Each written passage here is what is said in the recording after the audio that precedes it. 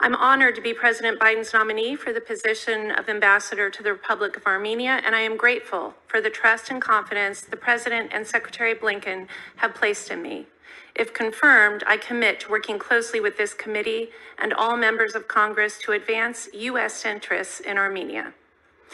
I'm a career Foreign Service officer with 30 years of experience. Most of my career has focused on Europe, guided by my conviction that a Europe whole, free, and at peace is in the best interests of the United States.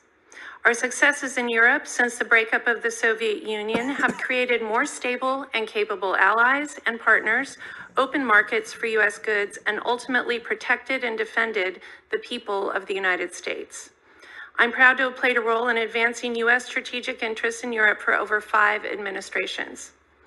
I appreciate the leadership of the members of this committee and your work across Europe to resolve conflicts and support reforms in young democracies. I know firsthand that bipartisan support at home puts the United States in the strongest position to advance U.S. interests abroad. My recent diplomatic experience in Ukraine has only reinforced for me the importance of supporting the right of every country to choose its own path, forge its own alliances, and defend its own economic and political interests in line with the desires and aspirations of its people. If confirmed, I pledge to work with you to strengthen Armenia's democracy, security, and economy, or in a word, its sovereignty. If confirmed, I would prioritize the safety and security of American citizens and our talented embassy team and their families. I would also continue the efforts of my distinguished pre- predecessor, Ambassador Lynn Tracy, to support Armenia's anti corruption initiatives, civil society, independent media, business development, regional integration, and efforts to counter malign influence. I would work with Armenians to help foster an impartial, independent judiciary and to safeguard respect for freedom of expression.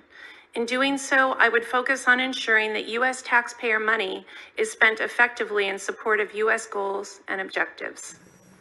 The peaceful set, settlement of the Armenia Azerbaijan conflict is essential to a more secure and prosperous future for Armenia and for the South Caucasus. The United States is working through bilateral and multilateral channels to help the sides achieve a peaceful, lasting, negotiated settlement of the conflict based on the principles of the UN Charter and the Helsinki Final Act. If confirmed, I will support the administration's commitment to achieving this goal. I grew up in Fresno, California, home to one of the largest Armenian diaspora communities in the United States. My teachers and friends of Armenian heritage spoke of the Ottoman era genocide that forced many of their families to seek new homes in America.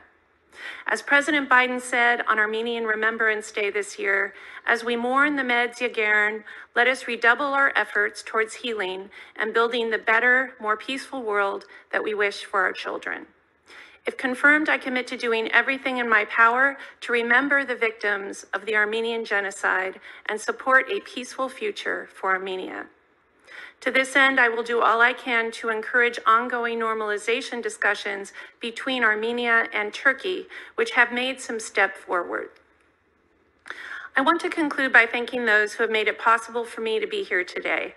I am joined by my husband, Tom White, who has been my partner th- through 13 moves and eight countries, and my daughter, Hannah White, who is applying what she learned in her overseas experiences as a high school teacher here in the District of Columbia. Mr. Chairman, Ranking Member, and members of the committee, thank you again for this opportunity to appear before you today. I welcome your questions.